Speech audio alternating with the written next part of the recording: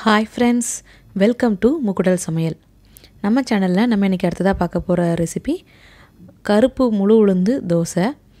உடம்புக்கு ரொம்ப ஆரோக்கியமான இந்த தோசை எப்படி பண்ணுறது நம்ம இன்றைக்கி பார்க்க போகிறோம் வீடியோக்குள்ளே போகிறதுக்கு முன்னாடி நம்ம சேனலை இது வரைக்கும் சப்ஸ்கிரைப் பண்ணாதவங்க உடனடியாக சப்ஸ்கிரைப் பண்ணிக்கோங்க. அப்படியே பக்கத்தில் இருக்க பெல் ஐக்கானையும் கிளிக் பண்ணிக்கோங்க. அப்போ தான் நாங்கள் போடுற வீடியோ உடனுக்குடனே உங்களை வந்து சேரும். வாங்க இப்போ கருப்பு முழு உளுந்து தோசை செய்கிறதுக்கு தேவையான பொருட்கள் என்னென்னங்கிறத இப்போ நம்ம பார்க்கலாம்.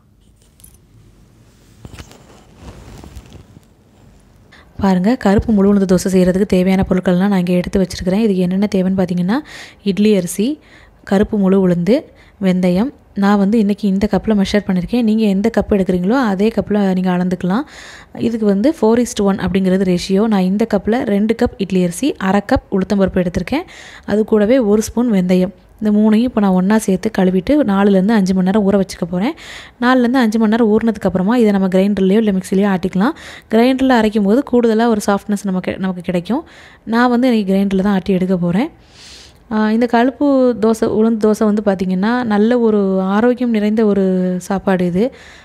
எல்லா வயதினருக்கும் குழந்தைங்கள்லேருந்து பெரியவங்க வரைக்கும் யார் வேணால் இதை நம்ம சாப்பிட்லாம்.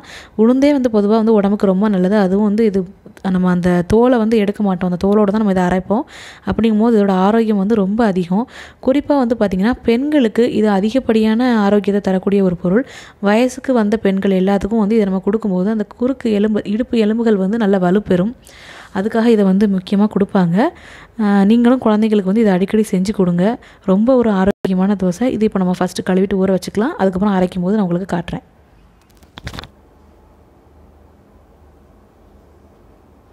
இப்போ வந்து நம்ம வந்து ஒரு அஞ்சு மணி நேரம் ஊற வச்சு எடுத்து வச்சுருக்கேன் அரிசி பருப்பு எல்லாத்தையுமே. இப்போ இதை வந்து நான் கிரைண்டரில் சேர்த்து ஆட்டிக்கிறேன். அரைக்கும் பொழுது அதோட பதத்தை வந்து நான் உங்களுக்கு எப்படி இருக்குங்கிறத காட்டுறேன். இப்போ நான் வந்து மாவு ஆட்டிகிட்ருக்கேன் ஆல்மோஸ்ட் முடிஞ்சிருச்சு. பாருங்கள் பதம் பாருங்கள் இந்த மாதிரி இருக்கணும். மாவு வந்து சாஃப்டாக இருக்கும் நல்ல. இந்த பக்குவத்தில் நம்ம வந்து மாவு வந்து இப்போ நம்ம பாத்திரத்தில் மாற்றிடலாம் எடுத்து வச்சிடலாம்.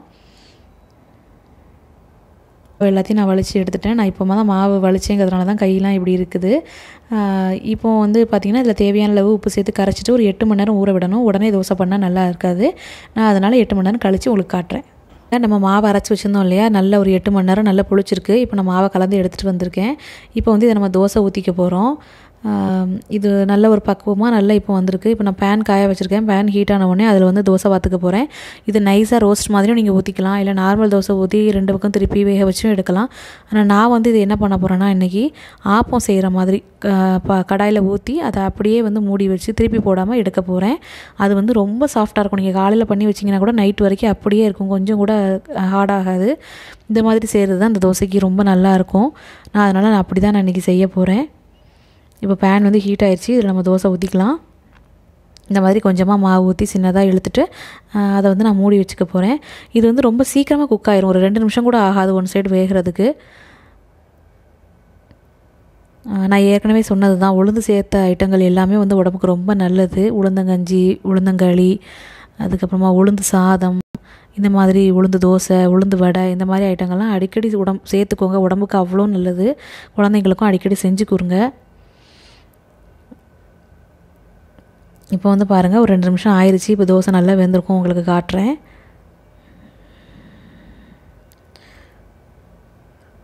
இப்போ பாருங்கள் நான் தொட்டு காட்டுறேன் பாருங்கள் நல்ல வெந்துருச்சு. தோசை. இப்போ நம்ம இதை பிளேட்டில் மாற்றிக்கலாம் எதுக்காக இந்த உளுந்து நம்ம அதிகமாக சேர்த்துக்கணும்னு பார்த்தீங்கன்னா பெண்களுக்கு வந்து இந்த இடுப்பு எலும்புகள் நல்ல வலுப்பெறும். மாதவிடாய் நேரங்களில் வரக்கூடிய அந்த முதுகு வலி வயிறு வலி அந்த பிரச்சனைகள்லாம் வந்து கொஞ்சம் இது சரி பண்ணும். உளுந்து வந்து உடம்புக்கு அவ்வளோ ஒரு நல்ல பெனிஃபிட் ஹெல்த் பெனிஃபிட் உள்ளது. பெண்களோட பிரசவ காலத்துலலாம் வந்து இது ரொம்ப ஹெல்ப்ஃபுல்லாக இருக்கும். அதனால் அதிகமான அளவுக்கு பெண் குழந்தைகளுக்கு வந்து இந்த உளுந்து அதிகமாக சேருங்க. அதுலேயும் முக்கியமாக கருப்பு உளுந்து சேர்த்துக்கோங்க. அது ரொம்ப நல்லது.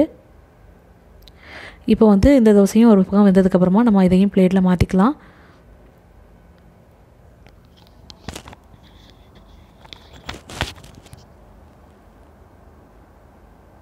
நம்மளோட உளுந்து தோசை நல்லா அருமையாக ரெடி ஆயிடுச்சு. கலர் எப்படி இருக்குது பாருங்கள் நான் ஏற்கனவே சொல்லியிருந்தேன் இல்லையா? கருப்பாக தான் இருக்கணும் அது மாதிரி.